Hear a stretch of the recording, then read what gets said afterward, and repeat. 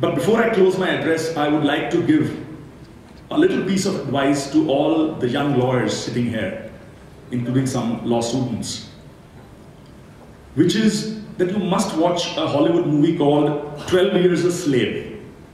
It's a beautiful movie which is based on an incredible true story of a man's struggle for liberty, freedom, and survival.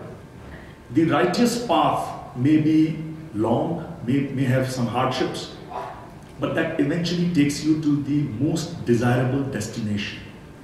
So never ever lose sight of a righteous path, whether it be your personal life or it be your professional life.